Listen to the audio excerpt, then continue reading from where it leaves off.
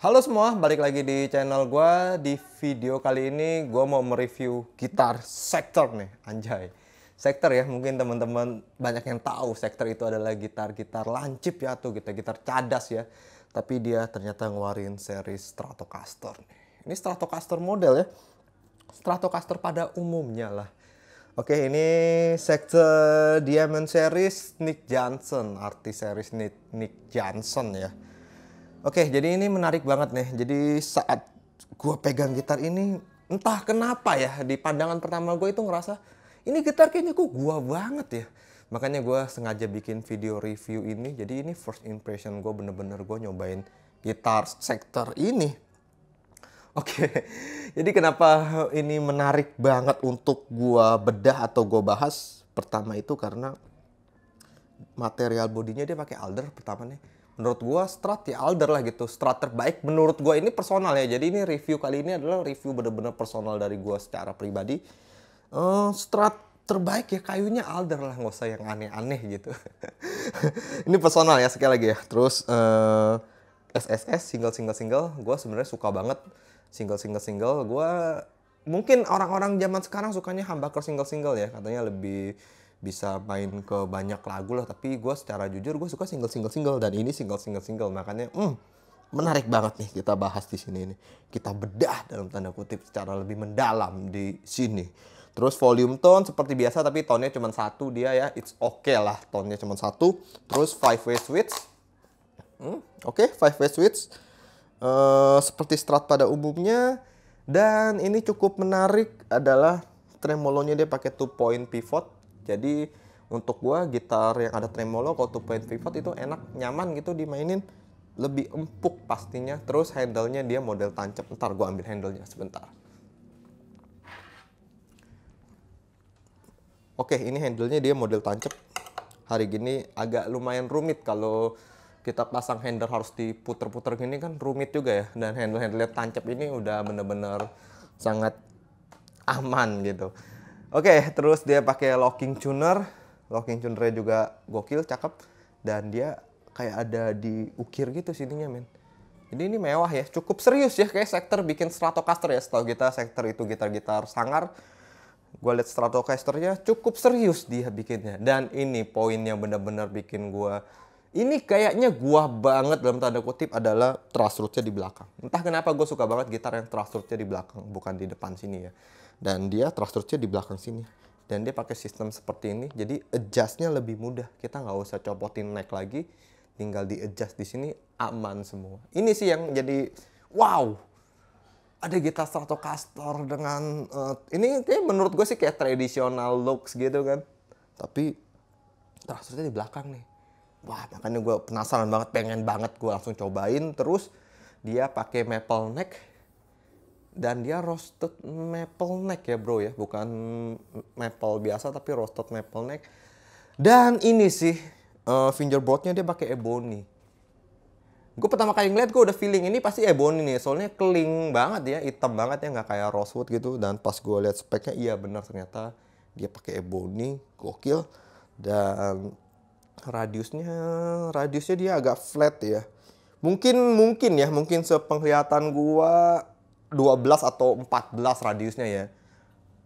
12 atau 14 ya. Mungkin 14 ya mungkin ya. Soalnya dia agak flat-flat gitu kayak gitar-gitar Ibanez gitu. Kayaknya radiusnya 14 atau 12 entah.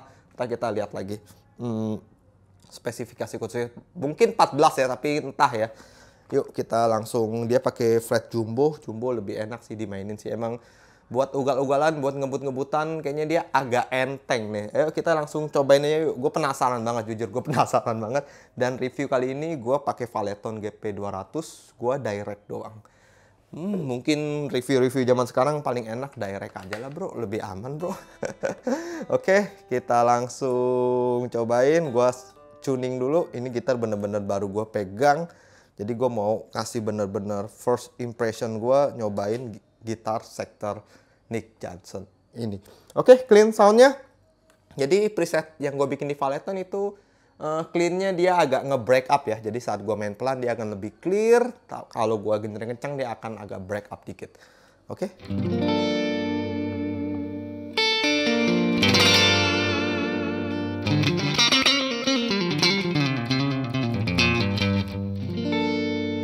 Playability nyaman ya karena radiusnya emang lebih flat ya. Ya itu yang gue bilang ya uh, tremolonya enak kalau two point pivot lebih empuk bro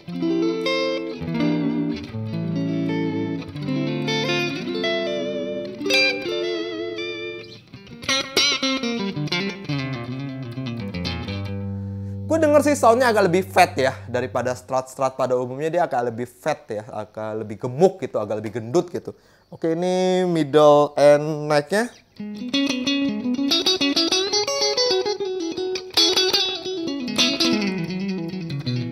Uh.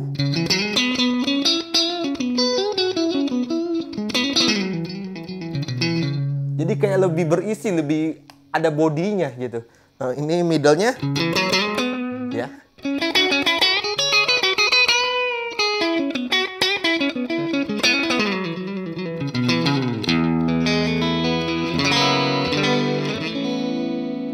Middle and bridge. Oh. Gua gua kayaknya kalau kena drive ini pasti sangar drive-nya nih. Percaya atau enggak ya? Ntar kita cobain drive-nya. Soalnya emang udah udah bahasa gampangnya kayak berisi gitu.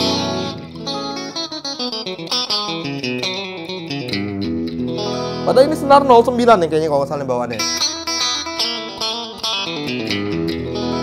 Bridge? Oh.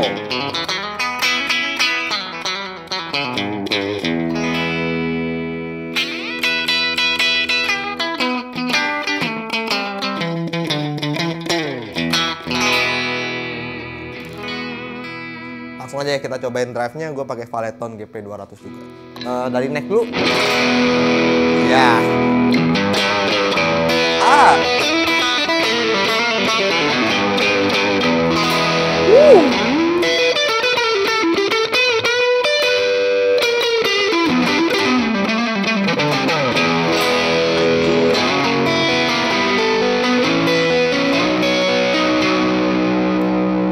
and middle.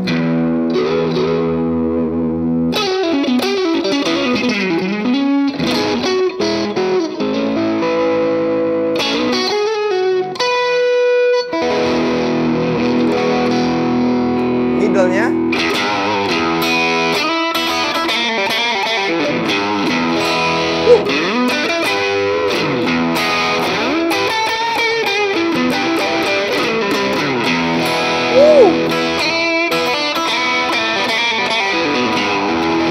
Untuk gua yang cenderung suka main di pick up neck doang, ah ini sih enak. Gua suka yang gemuk-gemuk emang yang berisi-berisi. Anjay. Asik. Uh, middle and bridge.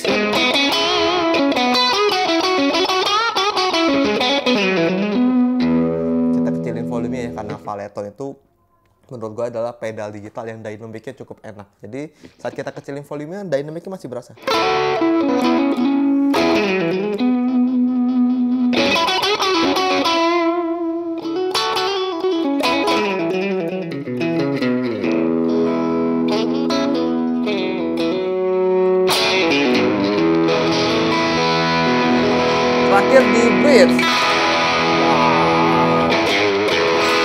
Sangarnya ketemu bro.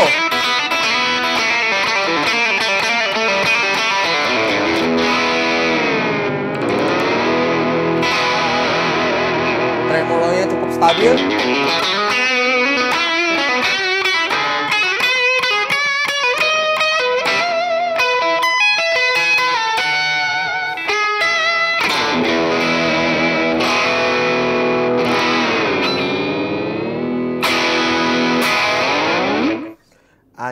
Anjay, alright, alright.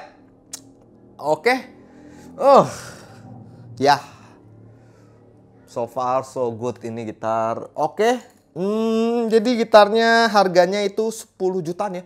10,7, 10 setengahan gitu. Pokoknya 10 juta lewat dikit untuk barunya ya nilai gitar ini. Uh, jadi ini review bener-bener jujur 10 jutaan cukup oke. Okay cukup oke okay, gitu cukup oke okay. uh, untuk sektor Nick Johnson ini.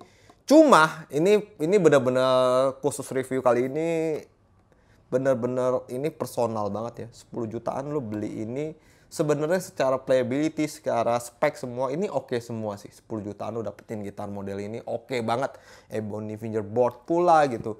Cuma balik lagi ini sektor gitu. Nilai value nya saat lo jual pasti akan rumit pasti agak rumit nih jadi ini sangat worth it, sangat oke okay kalau lo beli bekasnya ya. Menurut gua ya, ini pribadi ya. Beli bekasnya paling 7 jutaan, 8 jutaan. Ah, itu oke okay banget tuh. Tapi kalau lo beli dengan baru 10 jutaan, saat lo jual lagi udah pasti ini gitar aur-auran. Nilai value-nya belum terbentuk seperti Fender atau Gibson, Squire atau Epiphone lah sejenisnya ya. Dan ya tapi kalau lo mau pakai gitar ini tanpa mikirin nilai value-nya atau cuma buat main suka-suka doang, ini worth it banget 10 jutaan menurut gua nggak nggak ketemu lah gitar 10 jutaan dengan spek gokil kayak gini. Tapi kalau lebih aman, balik lagi kita pedagang ya lebih aman. Kalau beli bekasnya lebih hmm, lebih nyaman hati. ya bekas tuh beli 7 juta 8 jutaan paling jual 6 juta 5 jutaan. Jadi hmm, pilihan ada di kalian uh, seberapa worth it gitar ini? Gue bilang menurut gue secara personal ini worth it banget.